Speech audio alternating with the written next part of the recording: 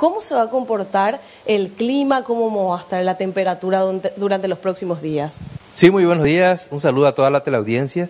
Estamos esperando que el ambiente lluvioso, digamos, eh, permanezca durante hoy en forma de lluvias dispersas, en forma intermitente, durante la mañana, el periodo de la mañana y tarde, ¿verdad? No serían lluvias importantes. Igualmente mañana sí también lluvias leves y dispersas.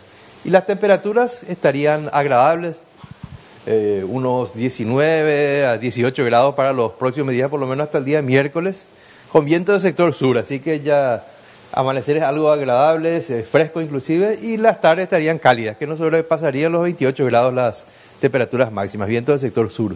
¿En qué zonas tendríamos algunas lluvias dispersas y esto podría agudizarse y llegar a un punto de tormentas también durante los próximos días o no?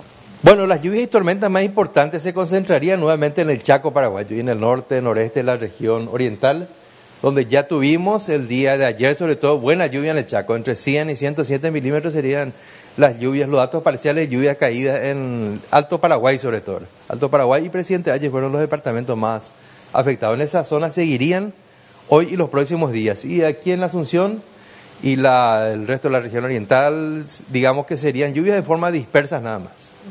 Sea, no hay mucho que preocuparse o mucho de qué preocuparse. Hoy, hoy y mañana no, era, pero para el miércoles sí, nuevamente eh, incursiona un, incursionaría un sistema de tormenta que traería lluvias más importantes. ¿Esto también en la capital? También en capital, sí, entre la tarde y noche del miércoles, extendiéndose hasta los días jueves y viernes inclusive. Bueno, las mínimas serían de 19 grados y las máximas de cuánto? Las máximas no sobrepasarían los 28 a 29 grados. O sea, sería un clima agradable pero con lluvias. Agradable y lluvioso así mismo.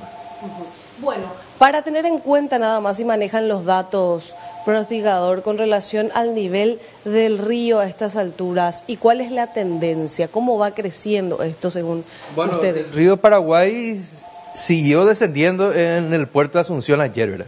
Tres centímetros bajó, eh, tengo entendido que está 6,98, el, el dato de hoy aún no tenemos, pero la tendencia es que siga descendiendo, porque las lluvias que afectaron aquí en área área central, eh, Asunción y Gran Asunción, estuvieron entre 10 a 35 milímetros, no, no, no fue mucho lo que llovió aquí por lo menos, así que mínimamente afectaría en el, la altura del río. ¿En el interior cómo se daría? ¿Sería mayor el impacto por el pronóstico de los días? Eh, sí, como había dicho, en el Chaco sí te esperamos lluvias importantes nuevamente en este periodo. ¿Podría haber un impacto? Sí, así en el con respecto a los puertos de Asunción, en los puertos del río Paraguay, sí, Olimpo, donde llovió 100, más de 100 milímetros, ahí sí podría ascender el río Paraguay, que eso podría repercutir más adelante aquí en el área central, de Asunción, para los próximos días. Bueno, lluvias dispersas para hoy a la tarde. Así mismo, entre el periodo tarde, tardecita, podría haber unos chaparrones, ¿verdad?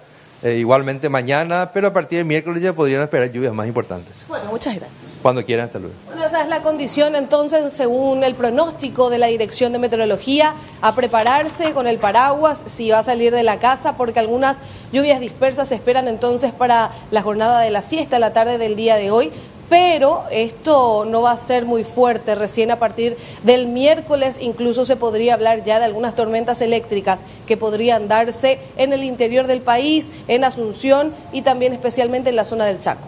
Kiara, eh, dos preguntas. Por un lado, están consultando aquí eh, cómo está la situación en Alberdi, sabiendo que están eh, a nada, a muy pocos centímetros de la declaración de catástrofe.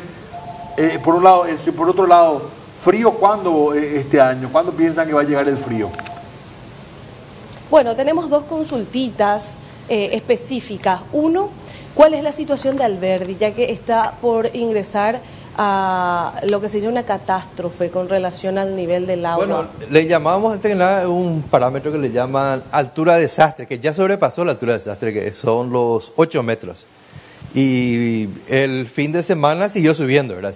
Estuvo ayer 8.19, si no me equivoco, y la tendencia es que siga subiendo ahí en esa zona, ¿verdad? Así que se esperan lluvias, ya como había dicho, a partir del miércoles en esa zona ya más importantes. Bueno, ¿cuándo llega el frío? El frente, no, no, no, no tenemos por lo menos a corto plazo, no hay ninguna señal de que ya que vamos a tener días lluviosos, entonces el frío prácticamente estaría ausente, ¿verdad? todavía, ¿verdad?